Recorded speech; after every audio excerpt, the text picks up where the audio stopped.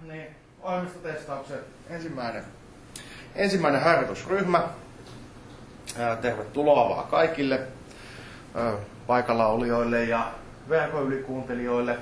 Tällä ekalla harjoituskerralla puhutaan vähän siitä, että mitä täällä ylipäänsä tullaan tekemään näissä ryhmissä tai mitä näissä harjoituksissa tullaan ylipäänsä käsittelemään. Ja sen jälkeen esitellään tämän viikon tehtävät. Ja jatkossa tämä nauhoite, joka näistä harjoituksista tehdään, toimii sillä tavalla, että siinä alkuun esitellään ne tehtävät parilla sanalla ja sitten myöhemmin, kun käydään vastauksia läpi, niin jotain yhteenvetoja siitä, mitä siihen vastaukseen olisi pitänyt laittaa. Sitten myöhemmillä viikolla, kun rupeaa tulee niitä lisätehtäviä, joita palauttamalla saa tenttiin lisäpisteitä, niin niistä tulee joku lyhyt ohje sitä varten, että tiedätte, mitä siinä olisi pitänyt lähteä tekemään tai miten sitä tehtävää pitäisi lähteä ratkaisemaan, ellei se ole niiden muiden tehtävien osalta itsestään selvää.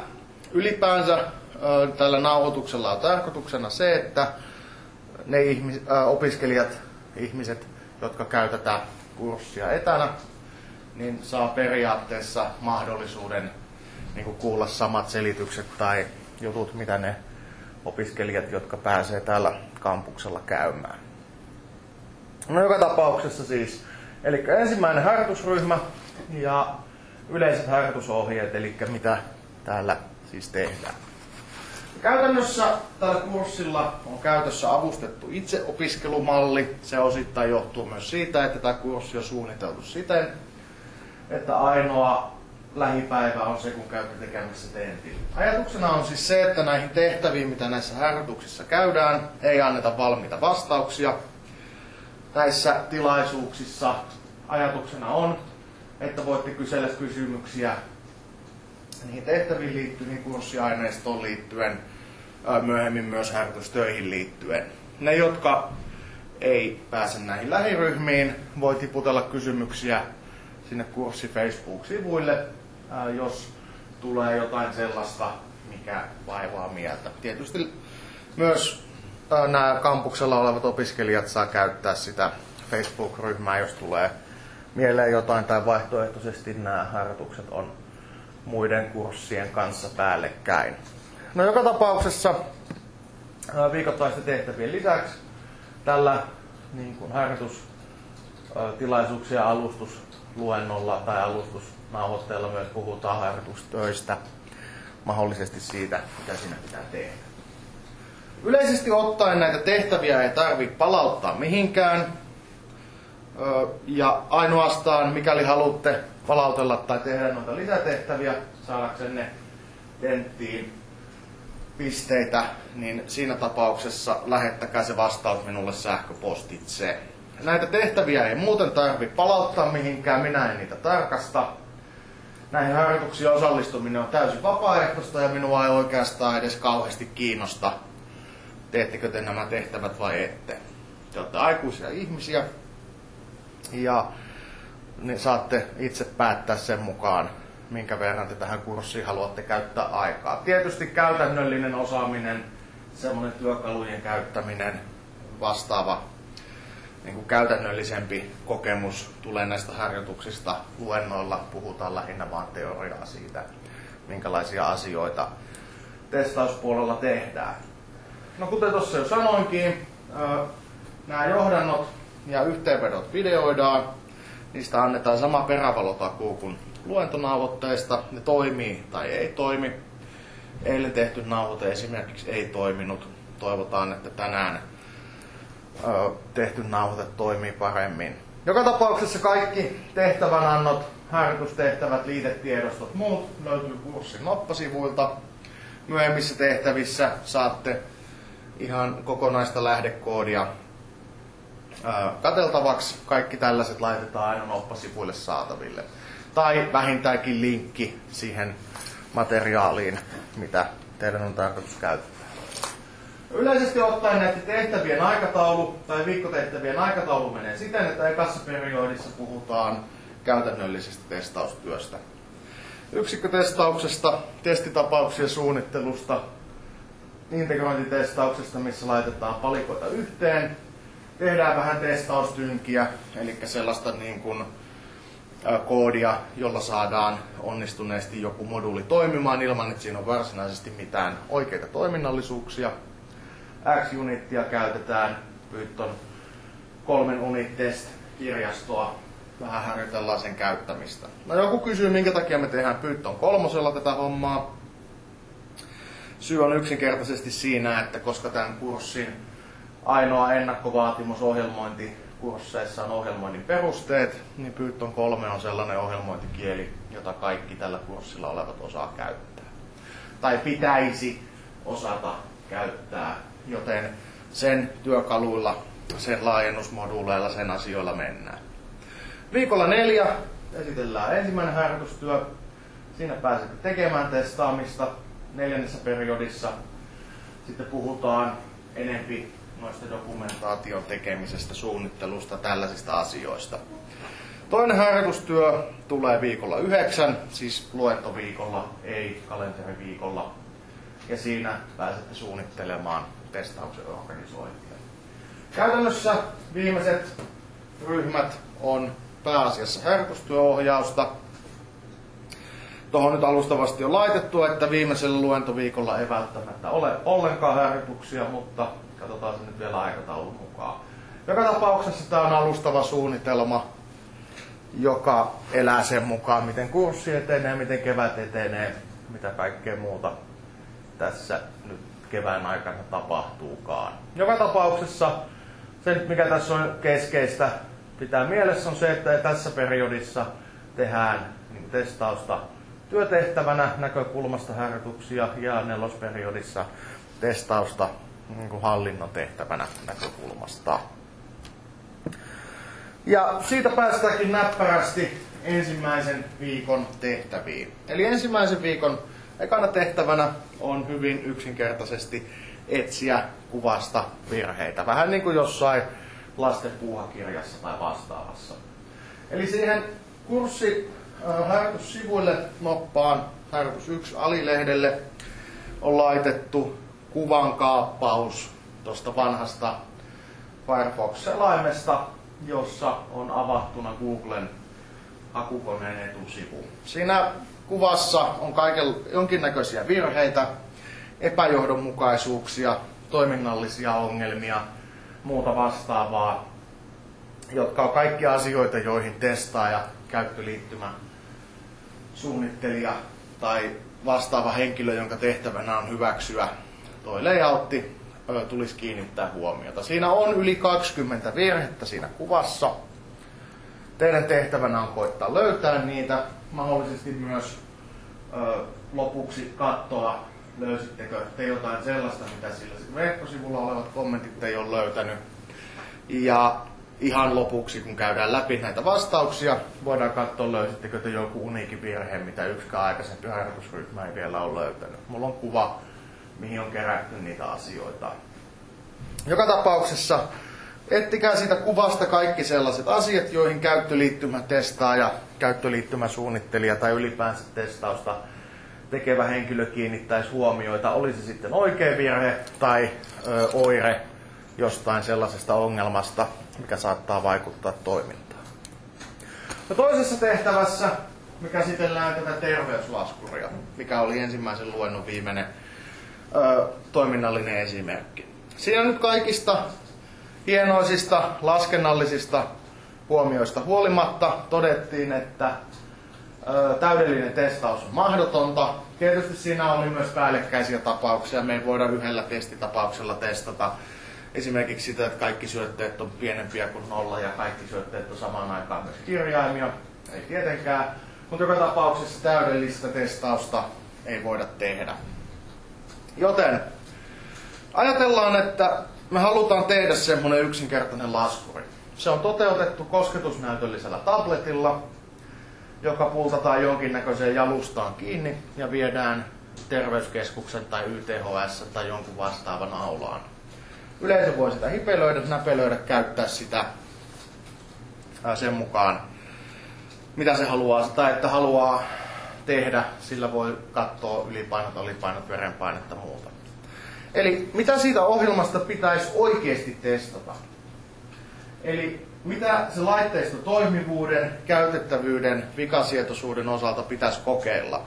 Ei pelkästään siitä softasta, vaan siitä la- niin fyysisestä laitteesta, mikä vietäisi sinne terveyskeskuksen tai YTHSn aulaan tai ihan mihin tahansa. Mitä siitä pitäisi oikeasti kokeilla? Eli koitella, laatikaa jonkinlainen lista, miettikää testitapauksia, mitkä olisi niin kuin oikeasti järkeviä asioita kokeilla. Ja viimeisenä tehtävänä öö, pääsette ensimmäistä kertaa kattelemaan tällä kurssilla oikeita lähdekoodia. Eli koska te ette pysty asentamaan näihin koneisiin tässä mikroluokassa mitään, niin avatkaa GitHubin selailuikkunaan linkin kautta löytyvä Wikipedia-moduulin se päämoduulin pääpalikan lähdekoodi. Löytyy sieltä alihakemistosta. Ja tästä moduulista laskekaa ja katsokaa tämmöiset jutut läpi. Miten monta riippuvuutta sillä palikalla on? Miten monta metodia siinä on? Miten monta omaa sisäistä metodia siinä on? Miten monta parametria se moduuli ottaa vastaan? Kuinka moni niistä on pakollisia? Ja miten monta eri valintarakennetta eli koodihaarautumista siinä palikassa on? Se on alle tuhat lähdekoodiriviä sisältävä hyvin pieni komponentti, joka on tarkoitettu siihen, että jossain muussa Python 3 sovelluksessa voidaan helposti hyödyntää Wikipediasta löytyvää materiaalia, oli se sitten kuvia tai tekstiä tai mitä tahansa muuta. Me nyt ei suoranaisesti tarvita sitä niin kuin, mihinkään, mutta jos ajatellaan, että me oltaisiin tekemässä jotain oikeaa projektia ja tämmöinen palikka pitäisi tuoda siihen järjestelmään mukaan, niin miten paljon tämmöisessä simppelissä, pienessä komponentissa on erilaisia kirjastoriippuvuuksia, metodeja, vaadittavia parametreja. Miten paljon siinä on erilaisia haarautumispaikkoja, jossa joku koodi jätetään suorittamatta, kun jotain muuta tehdään. Käytännössä, kun saat kerättyä nämä tiedot, niin vertaa sitä lukumäärää esimerkiksi tuohon edellisen tehtävän testattavien asioiden listaa. Miten paljon enemmän testattavaa tämmöisessä Wikipedia-moduulissa olisi kuin jo tuommoisessa tapauksessa, missä syötetään neljä numeroa ja painetaan jotain nappia ja asioita tapahtuu. Eli joka tapauksessa äh, homma etenee tässä nyt seuraavasti, eli teidän aloittaa omassa tahdissa tekemään juttuja tuossa tasamaissa puolen tunnin päästä voidaan käydä läpi nuo yleisesti vastaukset näihin tehtäviin, ellette tietysti kaikki saa jo homma valmiiksi ja haluaa aloittaa aikaisemmin. Mutta muussa tapauksessa menkää noppasivuille, katsokaa tehtävän annot lävite, koetkaa tekemään niitä juttuja eteenpäin ja lapasta pystyy, jos tulee jotain kysyttävää tai muuta huomautettavaa. Jos kukaan ei sen ihmeemmin kysy, kysele mitään tai ö, tule huomiota, että täällä alkaisi olemaan valmista, niin siinä tapauksessa, kun tuo luokan kello näyttää tasan, niin ruvetaan sitten katsomaan vastauksia näihin tehtäviin. Jees, tässä vaiheessa haluuko joku jonkun mietelauseen tai kysymyksen tähän nauhurille?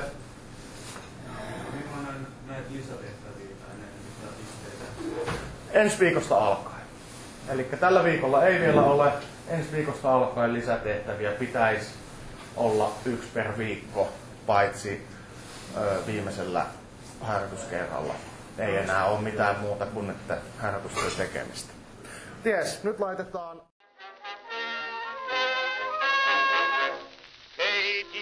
Katie, Katie was baseball mad, had the fever and had it bad, just to root for the hometown crew every Sue. blue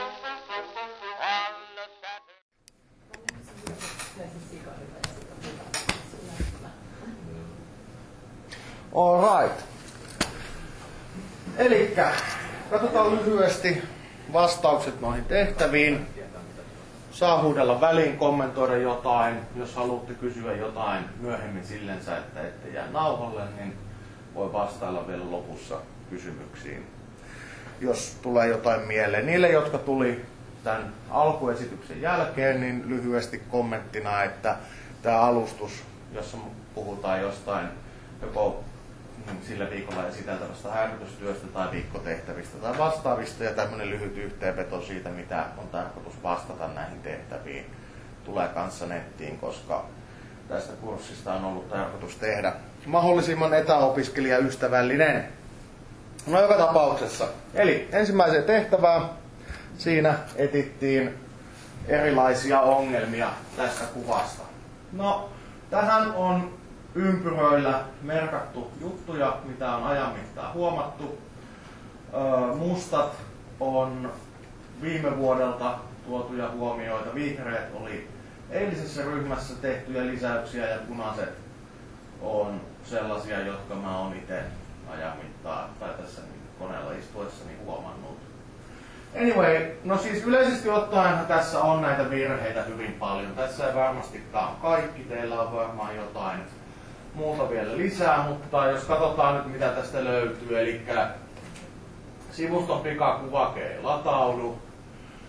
Tuossa kohtaa on joku ihmeellinen lisä pikavalinta viiva, ei näy teille, siinä, teille sinä asti yleisöön, koska se on hyvin ikävä lisäys. Se on valkoinen viiva siinä S-kirjaimen alla. Sen lisäksi pikavalinta H on käytetty kahteen kertaan. Jos tuntee yhtään Windows-ohjelmistoja, niin tietää tai ylipäänsä mitään käyttistä, niin helppi on väärässä paikassa. Kaikki nämä painikkeet täällä ylhäällä on jollain tapaa viallisia tuo ohjelma edelleen lataa jotain, tai selain lataa edelleen jotain, vaikka sivusto on jo valmis. Eli jos me oltaisiin testaamassa oikeita softaa, niin se tarkoittaa sitä, että joku osa sivusta on luultavasti kaatunut.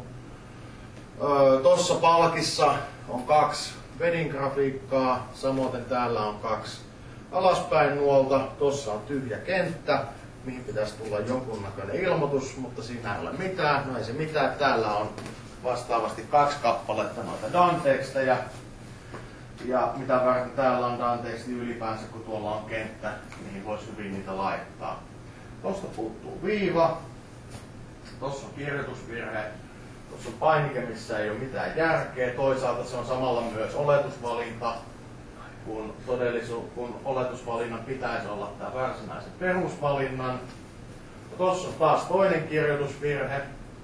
Sitten jos käytet, ajatellaan käyttö, käyttäjäystävällisyyttä, niin täällä on periaatteessa search settings kahteen kertaan. Mitä tuo te, ensinnäkin tuo on ihan väärässä paikassa, varsinkin jos täällä on tämmöinen. Sitten jos mennään tähän yläpalkkiin, niin no periaatteessa semmoisena filkupiilaustietona, että tosta puuttuu S-kirjain, Images Videos Maps News, Hopping, ei ole mikään, se on joku, se on joku mikä ei meinaa yhtään mitään. Nyys on väärässä kohtaa, siinä on joku syy, minkä takia se rivittyy väärin. Tuossa on eri tavalla muotoiltu pikalinkki, tai siis tuo linkki, siinä on pienkirja, kaikkialla muualla on iso. Tuo nuoli aukaisee niin periaatteessa valikon väärään suuntaan. iGooglen alta puuttu viiva, eli tuossa kohtaa oli virhe.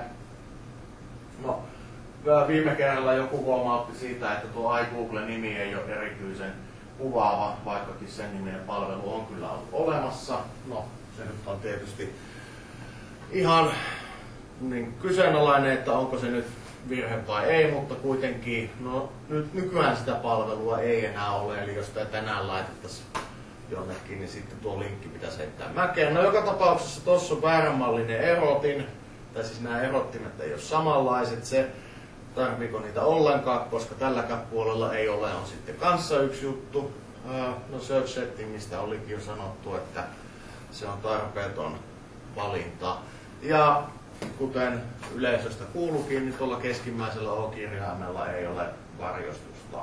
Eli siinä on graafikko unohtanut piirtää, piirtää ton varjon tuolle yhdelle kirjaimelle. Sen lisäksi mä itse kattelin pitkään, että onko tuossa tuo varjoelementti ja kirjainelementti väärinpäin jo aikaisemmin, mutta mä en ollut ihan varma, onko se tarkoituksella olla noin kuin en muista, miltä Googlen logo tarkalleen ottaen viitisen vuotta sitten näytti. Onko kenelläkään mitään lisättävää tähän kuvaan? Haluatteko mainita? Se kommenteissa löytyy, että noin selainen toi lukee Googlea ansailu, niin toiset reunat on pehmeät ja toiset reunat on tommoset suorat. suorat. Mm.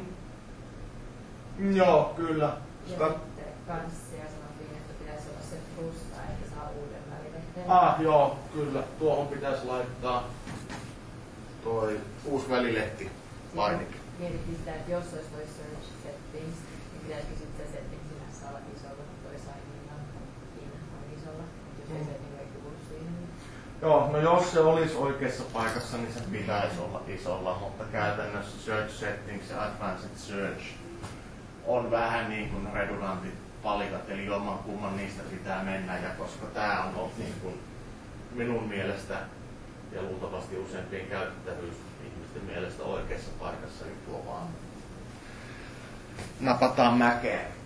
Onko muita oikein hyviä huomioita? Tietysti, kuten sanoit, sieltä sivuilta otettuja, mutta joo, lisätään vielä tuohon kuvaan. Onko joku huomannut vielä jotain muuta, mikä haluaa tuoda äh, vastauksena? Yes. No jos ei, niin ei mitään. Laitetaan, piirretään parit ympyrät lisää taas kuvaan. Ehkä me jonain vuonna ei enää löydetä uusia juttuja tuohon. Alright. Toisessa tehtävässä ajatuksena oli tämmöinen terveyslaskuri toteuttaa tai testata oikeasti. Eli ajatuksena on se, että tämmöinen laite viedään johonkin terveyskeskuksen YTHSn aulaan ja ihmisten annetaan niin kuin omin käsin näpelöidä sitä ja laskea painoindeksiä ja tarkkailla verenpainettaan tai muuta. Tietenkin olettaen, että ne nyt sattuu tietämään verenpaineensa. No, joka tapauksessa, jos me tämmöinen laite toteutetaan ja me halutaan testata, että se peruslogiikka tai se laite toimii ylipäänsä oikein, niin mä nyt oon listannut tähän jotain sellaisia juttuja, jotka sitä ainakin pitää testata. Tämä ei tietenkään ole millään tapaa täydellinen tämä lista, mutta sisältää jotain perusjuttuja. Eli totta kai ensin aloitetaan sillä, että kaikki perustapaukset eri kompoina. Eli kaikki nämä perusjutut, tunnistaako alipainon, tunnistaako ylipainon, tunnistaako verenpaineen olevan koholla, vaarallisen alipaineen, normaalit mittatapaukset muut. Eli kaikki tämmöiset normaalit oikeat vastaukset. No sitten ylitykset, alitukset eri kompoina, eli, tunnistaa, eli tunnistaahan se varmasti sen, että jos henkilöllä on merkittävä ylipaino ja saa vaarallinen alipaine ja niin päin pois. Mahdollisesti myös, jos joku henkilö laittaa jonkun naurettavan isokokoisen luvun sinne, kuten vaikka väittää olevansa 5,5 metriä pitkä tai jotain vastaavaa. Että onko siinä sellainen niin sanity check, järkevyystarkastus niissä syötteissä. Ymmärtääkö se laite nollat, pyyhki, ottaako ne pois, ottaako se pois ne siitä. No okei, no potilaalla voi verenpaine olla nolla, ylä- ja alaraja, ei siinä mitään. Silloin se luultavasti ei ainakaan omalla voimalla käytä sitä laskuria, mutta käytännössä paino 0 kiloa, pituus 0 senttiä, vastaavat jutut. Hyvin tärkeitä jo senkin takia, koska tässä käytetään tota, laskentakaavoja ja nollalla jakaminen on aina se semmoinen ikävä tapaus, joka useimmiten aiheuttaa ongelmia. Eli onhan tämmöiset niin perusasiat huomioitu. Vastaavasti negatiiviset luvut, kirjainten syöttämiset, tämmöiset perustapaukset, joskin ne on laitettu sulkuihin sen takia, koska jos me tehdään ohjelma, jonka ainoa tarkoitus on tehdä nimenomaan tätä laskentaa, niin minkä takia me annetaan käyttäjälle mahdollisuus syöttää mitään muuta kuin numeroita. Jos me tehdään joku standi, missä on tabletti, jossa on käynnissä se softa, niin me voidaan varmastikin määritellä sille, käytetään pelkkää numeronäppäimistöä. Toisaalta taas tämmöiset testit pitää tehdä, koska on olemassa tapauksia, joissa henkilö voi karata siitä niin kuin päällimmäiseksi pakotetusta ohjelmasta. Esimerkiksi vaikka ele, noin useimmat tablettilaitteet muut ymmärtää erilaisia eleitä, niin voi olla eleellä vaikka sulkea tai pienentää sen ikkunan tai laittaa sen taustalle tai muuta. Ja vastaavasti se, että tällaisten eleiden pois, tää pois päältä laittaminen on kanssa jotain, mikä varmasti pitää kokeilla. No, tyhjät kentät, ei siinä mitään. Sitten ihan laitteen puolelta virran pois ottaminen. Mitä tapahtuu, jos nykästään virta piuha pois seinästä ja annetaan akku mennä loppuun. Laitetaan piuha takaisin kiinni ja painetaan virtanappia. Meneekö laite takaisin päälle, palaako se tähän siihen tilaan, mihin on toivottu, että se palaa. Koska aina joskus käy jotain, tulee sähkökatko, ihan mitä tahansa, akut kuoleentuu. Jos öö, te toimitatte hyvää hyvyyttä ennen näitä laitteita 500 eri paikkaa, niin te luultavasti seuraavan vuoden sisällä tuutte, menette ainakin 500 kertaa käymään eri paikoissa laittamassa sen systeemin takaisin käyntiin.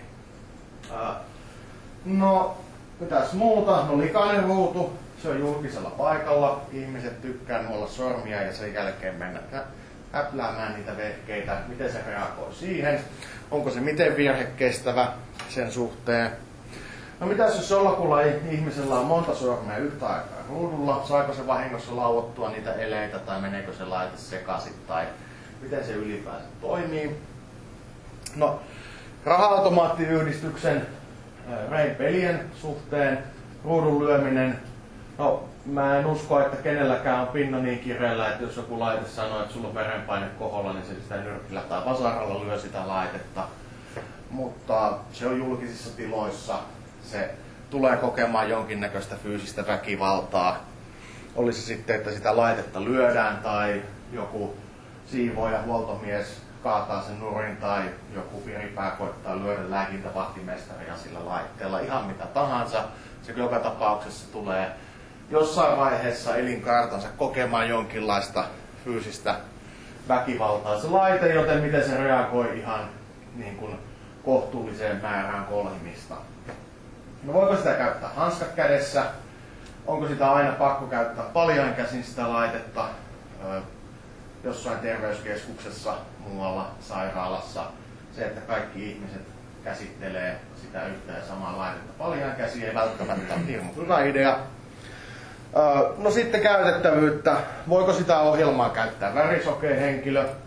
Onko siinä tarpeeksi kontrastieroja, että sitä pystyy käyttämään henkilö, jolla on jostain syystä huono näkö? Onko kirjaan koko tarpeeksi iso, että siitä saa vanhempikin henkilö tolkkua, on, jos siinä on jotain ohjeita, onko se kirjoitettu sen verran simppelisti se ohjeistus, että sitä pystyy niin kuin lapset tai jotkut muut henkilöt ymmärtämään sen ohjeistuksen tai miten sitä käytetään. Vaikuttaako valaistus sen laitteen toimintaan? Joissain tällaisissa yleisöpäätteissä käytetään sellaista rautaa, että se esimerkiksi jos menette jonnekin liikekeskukseen tai messuhalliin tai muualle, siellä saattaa olla tällaisia älypäätteitä, joita voi painella ja katella missä on mitäkin. Osa niistä teknologioista perustuu siihen, että siinä ei itse asiassa ole mitään paineen tunnistavaa tai tota, niin kuin sormenpään sähkökenttämuutoksen tunnistavaa sensoria, vaan siinä on kulmissa vaikkapa kamerat, jotka katsoo, että mihin kohtaan ihmiset tökkii sitä laitetta ja sen mukaan reagoi siihen. Meillä esimerkiksi oli yliopistolla aikaisemmin sellainen laite, no jos sä pistät siihen suoraan valon sitä niin kuin näyttöruutua vasten tai joku spottivalo osoittaa suoraan siihen laitteeseen, niin se sokeutuu, se ei olisi tehnyt yhtään mitään. Eli vaikuttaako ulkoiset tekijät sen laitteen toimintaan. Ja viimeisenä tämä on henkilökohtainen suosikki, päivitysilmoitukset käyttöjärjestelmän ruudulle pakottamat fokukset siitä, että päivitykset on valmiita asennettavaksi, joka esimerkiksi tuon kolmosaulassa olleen, ylio, olleen tai olevan ylioppilaskunnan ilmoitustaulun hyvin suosikki ilmoitus on se, että se tietokone, mikä sitä pyörittää, haluaisi asentaa hotfix-päivityksiä siihen Windowsiin. Eli tällaiset asiat, jotka nyt niin kuin pitäisi ainakin kokeilla. Onko kellään ajatuksia siitä, mitä muuta siihen voisi lisätä? Tässä nyt ei ole vääriä vastauksia, meillä ei ole sitä laitetta ja luultavasti kaikki järkevältä kuulostava olisi ihan hyvä testata. Alright, ei ainakaan haluta nauhalle sanoa mitään, ei se mitään. No viimeisen tehtävään, oikeaan koodiin. Eli tämä nyt on jo sitten vähän teknisempää asiaa, mutta tietysti tässäkään tehtävässä ei nyt ole oletettu sitä, että osataan tai että laitetaan se koodi itsessään toimimaan tai että sitä käytetään jotenkin. Lähinnä vaan lasketaan sitä asioita. Eli sillä varsinaisella Wikipedia-moduulin pääpalikalla sillä on yhdeksän kirjastoriippuvuutta ja sen lisäksi näistä yhdeksästä kirjastoriippuvuudesta kaksi on se moduulin mukana tulevia osia. Eli käytännössä se tarkoittaa sitä, että jos te haluatte tuoda tämmöisen moduulin omaa ohjelmaanne, niin teiltä pitää nämä yhdeksän muutakin moduulia löytyä. Ja mikä vielä ikävämpää, jos te haluatte testata, että kaikki toimii integrointitestauksessa muualla, niin teidän pitää tarkastaa, että nämä yhdeksän moduulia juttelee ylipäänsä samoja asioita. Ne on sellaisia versioita, jotka tukee toisiaan tai ymmärtää toisiaan. Vaikkapa jos lähetetään lukuarvoja, niin toinen puhuu kokonaisluvusta, toinen liukuluvuista tai tekstiä, niin toinen lähettää jotain ö, isoen koodattua juttua, toinen lähettää jotain kasia ja ongelmia syntyy. Ääkköset ei välttämättä näy. Toisaalta taas, jos joku muistaa ensimmäisen luennon asioita, niin tämmöinen yksinkertainen numeron lähettäminen väärän tyyppisenä väärään paikkaan aiheutti se Ariane 5 kantoraketinkin räjähtämiseen. Okei. Okay. No, modulissa on 11 metodia pääkomponentissa, joista ö, sen, lisäksi yksi on sisäinen. No Wikipedia Page-luokassa on sisällä kaikenlaista muuta, se on sisäistä testaamista, mutta joka tapauksessa siinä pääkomponentissa on 11 erilaista metodia, eli 11 erilaista tapaa, miten sitä ohjelmaa voidaan käyttää. No nämä kaikki pitää tietysti testata, jos halutaan varmistaa, että se kaveri, joka on alun perin tämän Wikipedia-moduulin koodannut, ei ole joku umpihullu, joka on vaan kasannut jotain ja heittänyt sen nettiin saataville.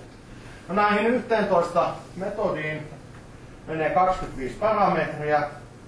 Niistä 16 sisältää oletusarvon, eli niitä ei ole pakko määritellä joka kerta kun sitä käytetään. Toisaalta yhdeksän on pakollisia parametreja, eli sellaisia, jotka pitää aina määritellä sen kutsun yhteydessä. Se käytännössä tarkoittaa sitä, että siinä on 16 erilaista lisäasetusta näihin 11 eri metodiin. Ja kaiken kaikkiaan koodi haarautuu yli 40 kertaa. Eli pelkästään siihen, että päästään tilanteeseen, jossa jokainen ton Wikipedia-moduulin lähdekoodi on edes kerran suoritettu testauksen aikana. Vaatisi jo 40 erilaista tapausta, missä kokeillaan, että kaikki koodi on ainakin kerran ajettu läpi. Että sit, tulkattavissa kielissä se ongelma on siinä, että sitä ei välttämättä tarkasteta sitä kieltä tai sen kieliasua, syntaksia kuvasta silloin, kun se eka kerran suoritetaan. Eli jos kaikkia näitä haaroja ei kokeilla, niin siellä saattaa olla ihan kirjaimellisesti kirjoitusvirheitä siinä lähdekoodissa ja kaikki näyttää olevan ihan jees. Eli jos tuossa oli tuossa edellisessä tehtävässä, oh, mitähän tuosta nyt tulisi, 8, 16, 20, no 50 erilaista testitapausta, joista noin puolet on noita niin kuin käytettävyystestausta muuta, niin tässä tehtävässä kolme meillä on 11 erilaista tapaa käyttää sitä komponenttia, niihin 16 erilaista vaihtoehtoa. Eli meillä on 11 erilaista ruokalajia, niihin saa 16 erilaista no, kastiketta, lisuketta, ihan mitä tahansa. Sen lisäksi meillä on 40 erilaista haaraa, jotka kaikki pitää tarkastaa, että siellä saadaan koodikattavuus kuntoon. Niin meillä on pelkkiä perustapauksia varten yli 100 erilaista asiaa, mitkä pitää tarkastaa. Saatika sitten, että lähdetään etsimään jotain oikeasti outoja juttuja tai katsomaan, että kaikki aina toimii kaikesta huolimatta. Okei, okay. onko tähän jotain kommentoitavaa, huomautettavaa ajatuksia? Yes. No ei siinä mitään. tässä nyt oli, tämän ensimmäisen viikon harjoituksissa oli lähinnä ajatuksena herätellä vähän huomioita siitä, että okei, jos me lähdetään tekemään testaamista, niin sitä huomioitavia asioita rupeaa tulemaan hyvin paljon erilaisia. Oli se sitten jonkun yksinkertaisesti käyttöliittymäikkunan kattomista, onko siinä virheitä, tai joku mielikuvituslaite, mihin halu, mitä halutaan testata julkiselle paikalle käyttöön vientiä varten. Tai vaihtoehtoisesti ihan oikea tämmöinen pienohjelmakoodi, missä on tuhatkunta riviä koodia. Niin siitäkin löytyy jo ihan oikeeta asiaa. Näin paljon, jos mennään johonkin isompaan ohjelmaan missä, tai oikeaan koodiin, missä puhutaan sadoista tuhansista koodiriveistä tai johonkin massiivisempiin järjestelmiin, jossa koodirivien määrä on miljoonia rivejä, niin sitä työtä kyllä riittää, jos vaan haluaa ruveta tekemään. Okei, tosiaan ensi viikosta lähtien meillä on niitä lisätehtäviä. Tässä tapauksessa sanoisin muutaman sanan siitä, mitä siihen kannattaa ehkä koeta laittaa siihen lisätehtävään. Ja ohjeistasin, että mitä palautatte sitten sähköpostilla suoraan minulle. Tällä viikolla meillä ei vielä ole sellaista, joten ö, tällä kertaa mulla ei ole varsinaisesti mitään muuta asiaa. Haluatko joku nyt vielä sanoa nauhalle jotain? Hyvä. Niin mä ajattelinkin. Eli pistetään nauhoitus seis ja sen jälkeen saa tulla kyselemään tai saa omassa vapa- omaan vapa-